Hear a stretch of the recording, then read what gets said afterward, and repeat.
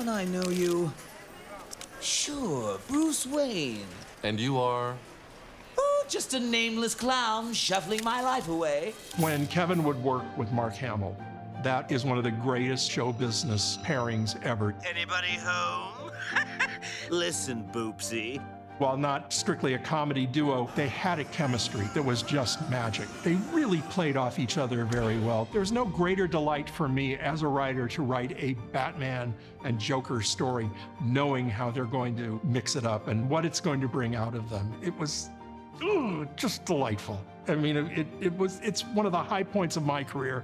I think what Kevin's talent and versatility allowed the writers was to write whatever they wanted. Once writers know that an actor's willing to go there, they have so many more things they can write about.